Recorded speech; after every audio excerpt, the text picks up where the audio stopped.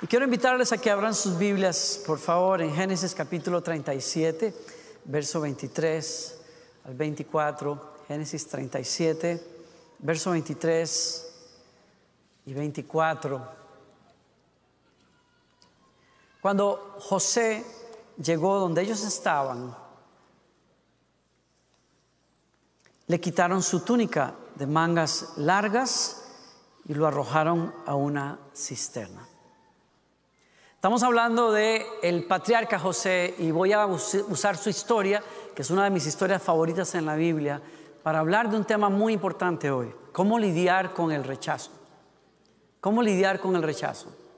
Es un muchacho que a los 17 años, siendo hijo de Jacob, uno de los patriarcas, viviendo en el desierto como nómadas, se encuentra con una situación familiar muy difícil. Su padre lo prefiere a él por encima de sus hermanos, por varias razones. Una es que lo tuvo en su vejez, dice la Biblia, y la otra que era un buen muchacho. Y sin ningún ánimo de compararme, por supuesto, a, mí con la historia, pero voy a hacer algunas referencias porque me resulta interesante. Claro, a veces en casa pasaba que a mis hermanos mayores los castigaban y bastante a menudo, Saludos a mis hermanos, los quiero mucho. Y los castigaban a menudo y entonces mis hermanos reaccionaban enojándose, por supuesto, y decían, pero ¿por qué solo a nosotros y por qué a él no? Y entonces recuerdo que mamá alguna vez dijo, ¿y qué quieren? ¿Que le pegue por ser bueno? Realmente no lo castigo porque no tiene por qué, pero a ustedes se lo merecen y ahí te va. Y si vuelves a hablar, te doy otra más. Entonces, era difícil y, y cuando miro esta historia, me da risa y me da un poco de dolor porque sé cómo pudieron sentirse ellos. José era el favorito de su papá. ¿Y qué pasa cuando hay una situación así en la casa?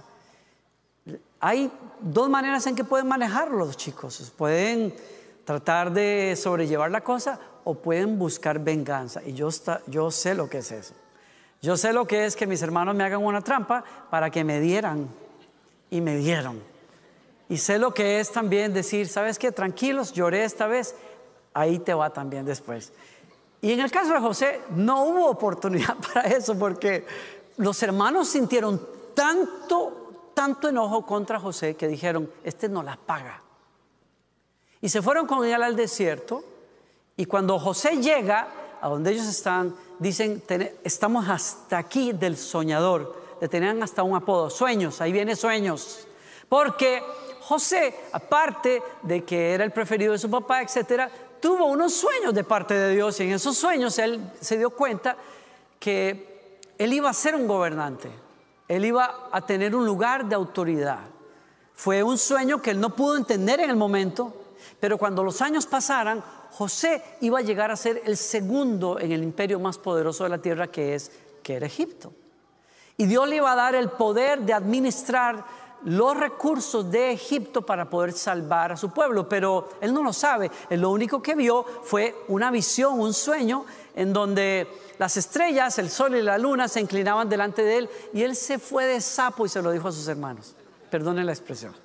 No sé si usted en su país lo usaba, pero en mi país el que habla más de, de la cuenta es un sapo. Y se fue y le contó el sueño a sus hermanos y claro, lo odiaron. Yo me, imagino rechinando los dientes. Dijeron, ¿y usted qué se cree? Y dijeron, espérense. Y cuando fueron al desierto, dijeron, estamos hasta aquí de este tipo. Lo agarraron, lo tiraron en un foso, le quitaron la ropa, la mancharon con sangre de un animal salvaje y lo vendieron de esclavo. Y se fueron a la casa del papá. ¿Qué, qué canallas? O sea, qué clase de corazón hacer una injusticia así con su, hermano menor prácticamente y tener el, el, descaro de ver a su padre morirse, porque su padre se murió de la congoja, lloró años y años a su hijo José y los sinvergüenzas nunca tuvieron la decencia de decir que habían mentido. Fue horrible. En un día José dejó de ser el hijo favorito, de tener una tierra, de tener libertad y se convirtió en un esclavo, en una tierra ajena, un inmigrante en una tierra que no lo recibió muy bien. Porque aparte, cuando él llegó a aquella tierra y por poco tiempo le va, le va bien, un hombre poderoso también un asistente del faraón lo contrata para que él se haga cargo de su casa y lo hace tan bien que le da todo excepto su esposa. Pero su esposa dijo, no, el paquete tiene que ser completo. Ya dijo, todo o nada. Y la mujer se enamoró de él, lo trató de seducir y cuando ella vio que el tipo tenía un temor de Dios y no quería estar con ella, lo acusó.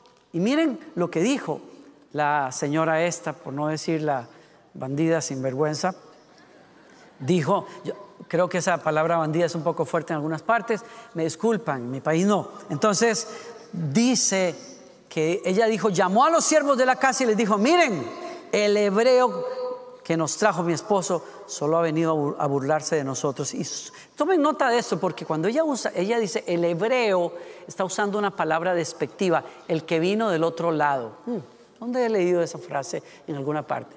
Como decir, el que cruzó el río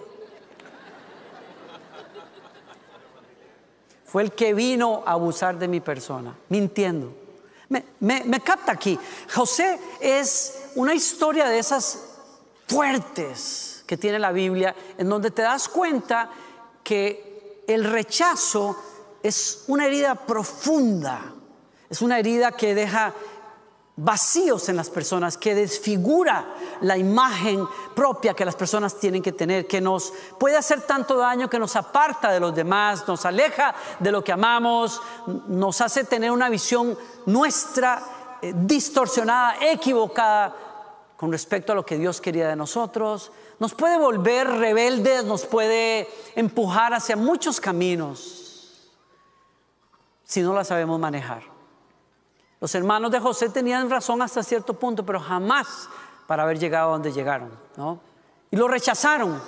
Y como si eso fuera poco, cuando llega a Egipto, la nación lo rechaza, tiene un, tiene un bloqueo étnico hacia los del otro lado, los que cruzan el río, los hebreos. Esos son los que causan problemas en este país. ¿Ya? casi suena como un headline, ¿verdad? De los periódicos de este país. A mí me da, me entra una, un coraje santo cuando veo en ciertos periódicos, inmigrante comete tal, y, los otros no cometen también esas barbaridades. Pero ese es tema para otro día. A José lo, lo culparon de un asunto así el que viene del otro lado, el que cruzó, el que cruza del otro lado y entonces es rechazado por sus hermanos. ¿Cómo tú manejas eso? ¿Cómo se maneja el rechazo cuando tu papá no te quiere, cuando tu mamá se va, cuando tus amigos te hacen bullying en la, escuela? Yo creo que casi todos hemos vivido, yo, yo no quiero entrar en ese tema, pero yo sé lo que es el bullying en la escuela, que por la estatura, qué ridiculez, que por, qué sé yo, cosas, que porque uno es un nerd, que porque a ti te gusta más leer y los otros están más en deporte, te hacen bullying, o a veces por ninguna razón. Tú sabes lo que es eso, tú sabes que es porque la persona, la gente te diga, es que eres muy flaco, es que eres muy gordo, es que eres muy alto, es que eres muy bajo, es que aquí, que allá y... Qué difícil es manejar el sentimiento del rechazo. José pudo haber deshecho su vida, pero no lo hace. Por eso les quiero hablar de él unos minutos. Porque venció el rechazo, lidió, navegó eso de una manera que honró a Dios y que lo llevó a su destino. Y ese es mi punto hoy.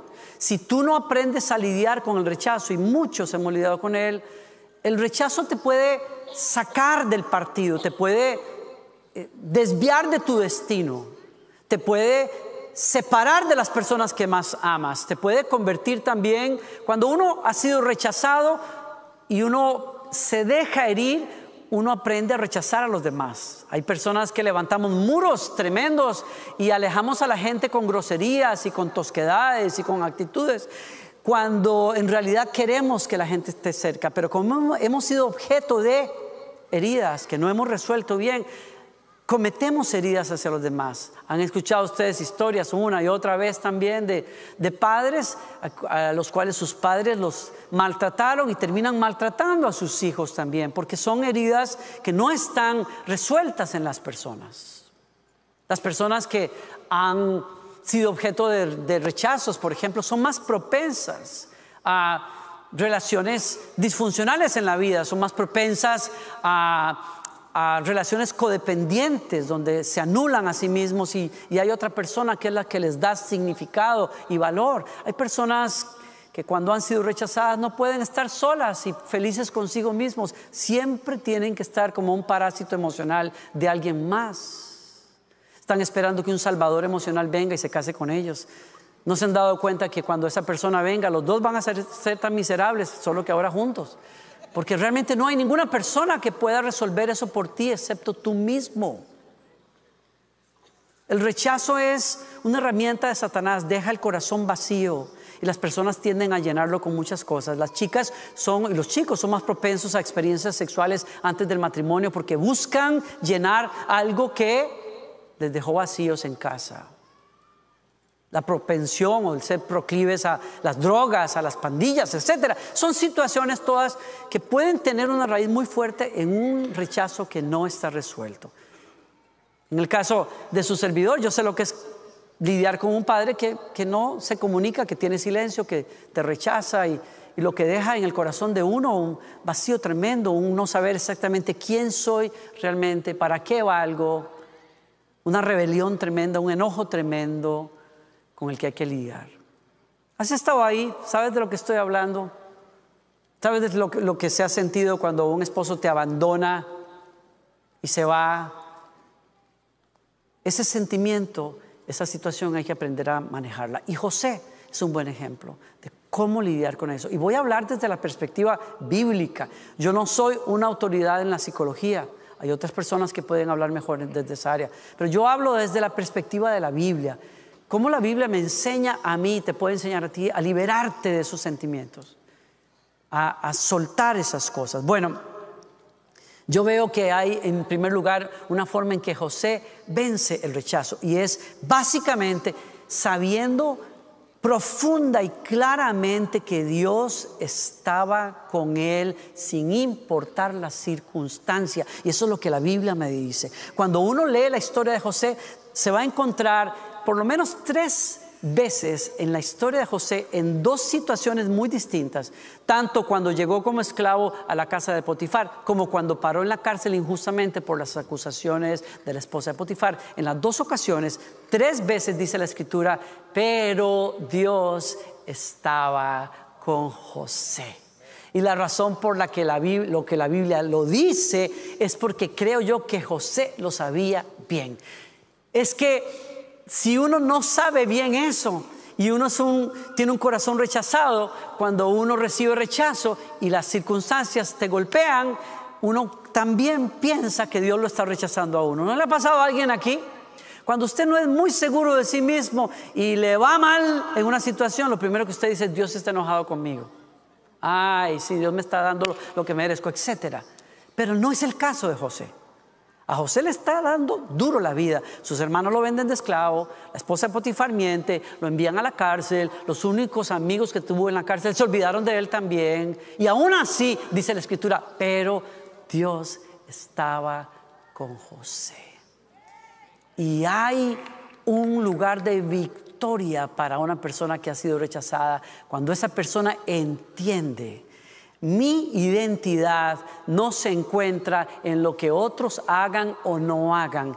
Mi valía no se encuentra en lo que alguien dice o no dice. Mi valía está en el creador de los cielos y la tierra que me llama mi hijo, me ama, me abraza, está conmigo no importa cuando yo lo siento y cuando no lo siento. No importa si las cosas van bien o van mal. Yo sé que, yo sé que, yo sé, dicen en inglés, I know that I know that I know that God is with me. Y eso se convierte en tu identidad. Eso se convierte en tu valía. Estoy diciendo algo en algún momento en la vida, si estás lidiando con el rechazo, para encontrar salud al respecto de eso, tienes que dejar de medir tu vida, medir tu valía con el metro de la opinión de las personas y tienes que comenzar a usar el metro correcto. No es lo que otros hagan o digan, es qué dice Dios de mí, quién soy yo para Él, quién dice Él que soy yo y quién es Él con respecto a mí. Y Él dice, Él es mi Padre, Él es mi creador, Él es mi pastor, Él es mi fuerza, Él es mi sustento. Él dice en su palabra, Él dice en, en su palabra para ti, para mí, no temas porque yo estoy contigo. No desmayes que yo soy tu Dios que te da fuerza. Siempre te ayudaré. Siempre te sustentaré con la diestra de mi justicia. Alguien abraza esa verdad hoy. Deja de estar mendigando valía en otras personas y encuentra ese valor en Dios. En algún momento tú y yo tenemos que descansar en quién es Dios y quién Él dice que somos para Él. Ese es el lugar de sanidad. Dios estaba con José, Dios está contigo. Dios está contigo en la noche y está en el día. Dios está contigo cuando lo sientes y cuando no lo sientes. Dios está contigo en la montaña y está en el valle. Dios prometió siempre estar con nosotros. Está contigo. Vino para quedarse. ¿Saben por qué Él es capaz de ayudarnos a encontrar valía en Él? Porque Él fue objeto de rechazo también. Él, al hacerse hombre, vino a tomar nuestros rechazos y nuestras heridas en sí mismo. Miren qué pasaje más tremendo este. Cuando Isaías profetiza, 600 años antes de la venida de Jesús, quién será el Mesías y lo que vivirá el Mesías. Léalo conmigo con cuidado. Y miren, con razón, este texto ha sido causa de tanta discusión entre eruditos hebreos o judíos que se niegan a aceptar que se refiere a Jesús, pero es tan fuerte cuando dice, fue despreciado y rechazado, hombre de dolores, conocedor del dolor más profundo. Nosotros le dimos la espalda y desviamos la mirada. Fue despreciado y no nos importó. Sin embargo, fueron nuestras debilidades las que Él cargó y fueron nuestros dolores los que lo agobiaron. ¿Alguien me está siguiendo aquí? Cuando tú entiendes que Jesucristo entiende lo que tú estás pasando, lo que tú has vivido, porque Él lo llevó sobre sí mismo, en sus espaldas, en sus azotes, en las escupas de los que lo odiaban, en los que lo torturaron, en aquellos que lo maldecían, y Él guardaba silencio ante ellos. Él recibió la mayor oposición que ningún ser humano haya recibido, siendo limpio, inocente y perfecto. Y cada una de esas heridas y de esos golpes y de esas caídas y de esos azotes, en ellos se representa cada rechazo, cada maldición, cada discriminación de la cual tú has sido objeto. Y Él dice, las tomé yo para que tú seas libre. Y dice la escritura, y por sus llagas fuimos nosotros curados. Él fue golpeado para que nosotros estuviésemos en paz. Fue azotado para que pudiéramos ser sanados. ¿Quién dice amén a eso? Mi lugar de sanidad es Jesucristo. Yo tengo que aprender a encontrarme en Jesucristo, verme en Jesucristo, sanado por Él, liberado por Él. Esta es la posición a la que te invito a pararte todos los días de tu vida, especialmente si fuiste rechazado y sabes bien de lo que estamos hablando. Alguien como yo, cuando estaba lidiando, siendo jovencito cristiano y líder en una iglesia, cuando yo estaba lidiando con el resentimiento, con la amargura hacia papá, con la rebelión todavía, tuve que venir a una confrontación en la presencia de Dios y decirle enojado, ¿por qué Señor? Y muchas cosas que a usted no le importa que le diga, pero muchas cosas con las que me peleé con Dios. Y fue en esa discusión que el Espíritu Santo se encontró conmigo. Y ahí en mi corazón me mostraba la cruz y a Jesús clavado en esa cruz y me decía, puedes pasar toda la vida lidiando con estos rollos o decides ver que eso lo llevé en la cruz y que aquel que pudo haber maldecido a sus torturadores y que pudo haber, dijo, perdónalos porque no saben lo que hacen. Ese te liberó ahí de la maldición del rechazo. Yo puedo, yo puedo esperar que pasen muchas cosas, que alguien ore por mí, lo que fuera, todo eso ayuda, pero en algún momento tendré que ser confrontado con la cruz ¿Y qué significa para mí? Significa que Dios me amó tanto y tanto y tanto que me dio el mejor regalo que tenía, que es su propio Hijo, para que Él llevara esas luchas en Él y las venciera de una buena vez. Y en su resurrección me dio una nueva vida, me dio un nuevo corazón, una manera diferente de vivir. Y muchas veces, no solamente ese día tuve que tomar por fe lo que Jesús hizo por mí y aplicarlo a mi corazón sino que también a partir de ese día, no ha sido una sola vez, sino muchas veces que me he tenido que parar en la vida y decir, decido no verme como el mundo me ve, no tratarme como el mundo me pudo haber tratado, no buscar más la opinión de las personas, la aceptación de las personas, no ser adicto a la aprobación de los demás. Yo sé quién soy, estoy en Cristo. En Él soy valorado, en Él soy amado, en Él estoy abrazado y me quedo ahí. Ese soy yo. Soy hijo de Dios. Soy amado por el Señor. Dios está conmigo. ¿Alguien me sigue? Como dijo este pastor que me encantó leerlo, en Cristo Dios me escogió por amor para ser su hijo. Renuncio a las mentiras de creer que mi origen es el rechazo o que soy el resultado de un descuido porque a alguien se le olvidó un profiláctico, o un accidente, o unas malas cuentas, o una equivocación. Él me escogió por nombre aún antes de crear todas las cosas. En Cristo y por decisión de Dios mi Padre. Soy bendito, soy santo, soy amado, adoptado, escogido para un propósito que Dios tiene para mí. Y ahí me paro y ahí vivo. Y a mí nadie me saca de ahí. Así lo dice la escritura. Es un versículo que usted tiene que tener cerca si está lidiando con el rechazo. Dios decidió de antemano adoptarnos como miembros de su familia, al acercarnos a sí mismo. ¿Leyeron eso? Al acercarnos a sí mismo. Pon tu nombre ahí. Léelo con tu nombre ahí. Recítalo pensando en ti mismo. Dios me acercó a sí mismo por medio de Jesucristo. Eso es precisamente lo que Él quería hacer y le dio gran gusto hacerlo. ¿Leyeron eso conmigo? ¿Leyeron eso? A Dios le dio gran gusto acercarme a Él, acercarte a ti, a Él, porque es lo que siempre quiso. Ay, gracias.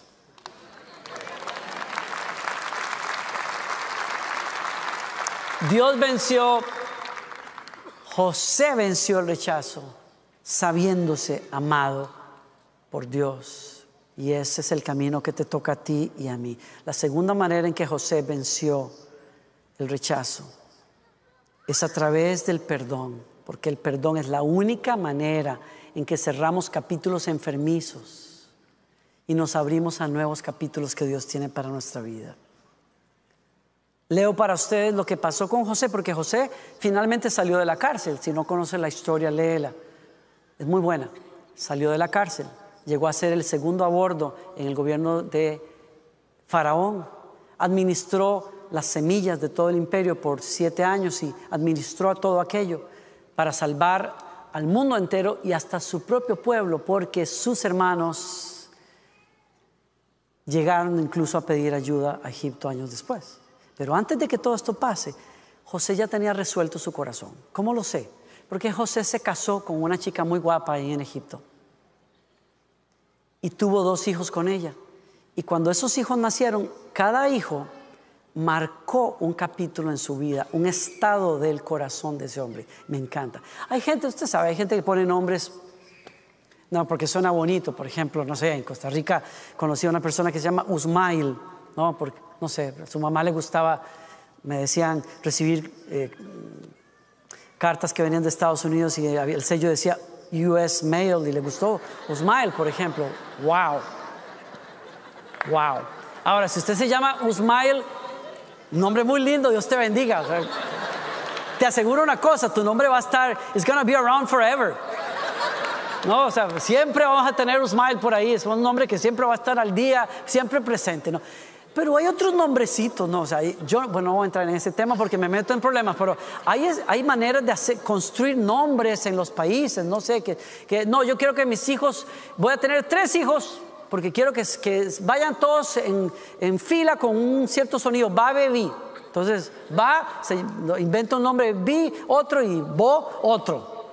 Que no sea bobo, no, algo así. Pero va baby. En mi casa todos vamos a hacer ja, je, ji.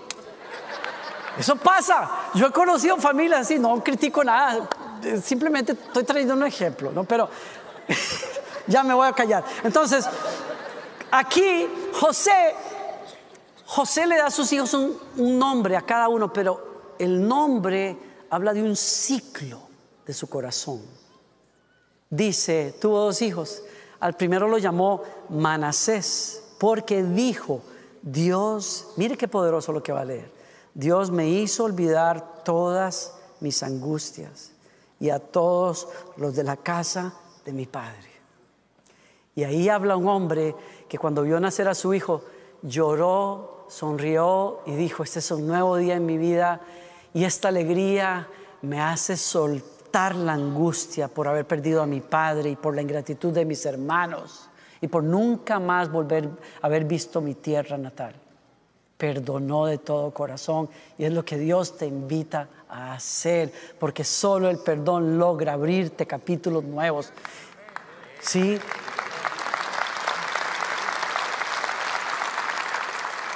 Y vino un segundo hijo, y su segundo hijo le puso por nombre Efraín, porque dijo, Dios me hizo fructífero en esta tierra de mi aflicción. Si José no hubiera perdonado a sus hermanos, Egipto siempre hubiera sido una desgracia para él. Siempre hubiera dicho, sí, está bien, me está yendo bien, estoy ganando plata, me casé aquí, cuento los días para tener suficiente dinero y regresarme en una caravana para Israel, porque Egipto es una porquería, no quiero estar aquí, esto es una desgracia, esta es la tierra de mi, mi aflicción. Pero no, su corazón se resolvió. Encontró paz en perdonar y se dio cuenta que Egipto, que había sido un lugar de aflicción, sería un lugar de prosperidad y de paz para él. Y llamó a su hijo Efraín, porque Dios hizo un milagro. Dios es capaz de hacerme florecer en el lugar donde el enemigo me quiso matar. Y yo te puedo decir hoy, porque soy testigo de esto que te estoy diciendo, que el día que yo solté esa rebelión, esa falta de perdón, fui libre. El día que yo bendije a mi Padre, comencé a ver el favor de Dios sobre mi vida. Pude abrazar a mi Padre, besar a mi Padre, pude ser amigo con Él los últimos años de su vida, lo bendije y Él me bendijo. Estoy libre del rechazo. Y Dios me dio un capítulo bello en mi vida.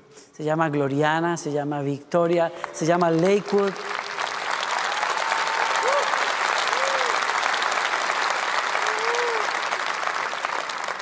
Y así es que Dios te quiere hacer libre.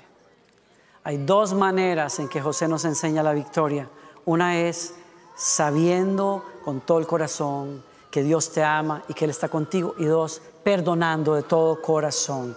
Termino leyéndoles. Dijo José, cuando vio a sus hermanos, se quitó el maquillaje, se quitó las vestiduras egipcias porque no lo conocían. Aparte, habían vendido a un chico de 17 años, ahora tiene más de 30 años, no lo conocen cuando vienen a pedir y a mendigar grano, pero él no aguantando más el corazón, rompe a llorar delante de ellos, se quita los maquillajes y cosas de los egipcios, de los mandatarios egipcios y les dice, ¿no ven ustedes quién soy? Soy José, soy su hermano. ¿Vive mi padre todavía? Y sus hermanos se quedaron mudos. Yo creo que ellos vieron así en su imaginación, vieron el hacha cortándole la cabeza a todos. Estaban atónitos, dice, atónitos al darse cuenta que tenían a José enfrente de ellos. Por favor, acérquense. Yo me imagino que todos dijeron, tu abuelita se va a acercar. Se quedaron todos ahí. Soy José, su hermano, a quien ustedes vendieron como esclavo en Egipto. Y todos dijeron, sí, ya sabemos eso. Pero no se inquieten ni se enojen con ustedes mismos por haberme vendido. Fue Dios quien me envió a este lugar antes que ustedes para preservarles la vida. Bola de sinvergüenzas. Dios me hizo llegar antes que ustedes para salvarles la vida y a sus familias y preservar la vida de muchos. Por lo tanto, fue Dios quien me envió a este lugar y no ustedes. Fue Él quien me hizo consejero del faraón, administrador de todo el palacio y gobernador de todo Egipto. Aquí está la prueba de un corazón que sabe, que sabe, que sabe, que no importa qué circunstancias o aflicciones enfrentemos, Dios está conmigo, Dios me ama, soy su hijo, Él está aquí, Él tiene el control de mi vida. Yo no sé por qué pasé lo que pasé, yo no sé por qué mi padre me abandonó. Yo no sé por qué dicen que es un accidente en las cuentas de mi mamá. A mí no me importa. Dios quería que yo estuviese aquí. Estoy vivo, tengo destino, tengo propósito y sé que mi corazón perdona. ¿Por qué? Porque puedo bendecir a mis hermanos. Porque puedo entender que en medio de todo Dios vuelca las cosas para la gloria de su nombre y para mi bendición. Y ese es el camino al que Dios nos invita a ir hoy. Les invito a que cierren sus ojos, inclinen su cabeza y le digan al Señor, yo sé que usted recibe esta palabra. Aquí estoy, Señor. Yo recibo tu palabra. Recibo tu palabra. Y yo acepto con todo mi corazón. Dile conmigo, Señor, yo creo que me amas. No porque lo sienta, no porque las cosas vayan bien sino porque tú dices que me amaste en Cristo al punto de morir por mis pecados para acercarme a ti. Yo te creo, Señor. Dígalo conmigo, creo que me amas. Creo que estás conmigo. Y recibo de ti mi valía. Te invito a que llenes los vacíos que otros dejaron. Te invito, Señor, a que me envuelvas con tu presencia. Y hoy aquí en tu presencia, Señor, delante de ti perdono de todo corazón a quienes me hayan rechazado, me hayan denigrado, me hayan puesto de lado. De todo corazón los perdono, Señor. Yo tomo esa decisión para honrarte a ti, pero también tomo esa decisión para ser libre hoy, Señor, del resentimiento. Hazlo, hazlo en casa donde estás. Invita al Señor. Sáname de estas cosas, Señor. Sáname de este dolor. Libérame de la rebelión. Libérame de los muros que he creado alrededor de mí, Señor. De ese espíritu de independencia, Señor. Del orgullo de tantas cosas, Señor. Quiero ser libre hoy, Señor. Perdono como tú me perdonas a mí también, Señor. Gracias. Gracias. Hoy declaro con fe que tú eres el Señor de mi vida y que eres poderoso como lo hiciste con José para traer nuevos capítulos, nuevas personas Así como los hermanos de José lo hirieron, pero trajiste una esposa que sanó su corazón, tú traerás nuevas personas, hombres y mujeres que serán padres, madres, tíos, hermanos, amigos, que llenarán y que traerán palabras, abrazos. Gracias por eso, Señor, pero por sobre todo, gracias por ti y por tu amor. Pónganse de pie todos antes de que se muevan de sus lugares. Ya nos vamos. Pónganse de pie todos. Quiero orar por ustedes. Escuche bien.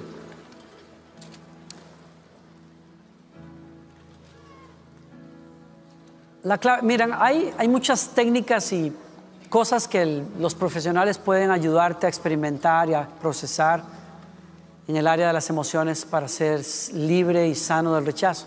Pero yo te hablo de parte de la palabra de Dios. Dios nos dio a un José, que es su hijo, que fue a la fosa de la muerte para sacarnos a todos de ahí. Y cuando tú crees en el mensaje que Él trajo y crees en Él, mírame aquí al frente, por favor, que nadie te distraiga. Cuando le recibes a Él en tu corazón, al José del cielo, Él sabe cómo liberarte de tu rechazo. Él sabe cómo ayudarte a caminar en libertad. Y te quiero invitar, no salgas de aquí sin decirle a Jesús, entra y toma las riendas de mi corazón. Ese es el paso número uno para comenzar una nueva vida. Puedes pasar en terapia toda la vida, pero solo cuando el José del cielo viene a tu corazón, el que venció la muerte, el odio, el rechazo, es que puedes caminar en verdadera libertad. Alguien me sigue aquí y por eso te digo, Jesús está a la distancia de, una oración, de que le digas, aquí estoy, perdóname Señor, hazme tuyo. Si quieres hacerlo, yo ya me pasé de mi tiempo y necesito que se vayan, pero que es una meta que tengo. Quiero pedirles algo. Si necesitas que alguien ore por ti para guiarte en esta oración, vamos a, vamos a tener un equipo de líderes ahí atrás, en el lobby de la iglesia, en un espacio que se llama Nuevos Comienzos búscalo. En cinco minutos van a haber varios líderes que están allá y pastores. Y vamos a orar para que tengas ese encuentro con Jesucristo. ¿Estás conmigo? Y al hacerlo te vamos a mostrar qué sigue después de eso. Dios va a cambiar tu vida, como lo ha hecho conmigo también. Que el Señor te bendiga y te guarde. Que el Señor alce su rostro sobre ti, que el Señor te dé paz que el Señor haga resplandecer su rostro sobre ti. Que el Señor te bendiga cuando sales y cuando entras. En el nombre de Jesús.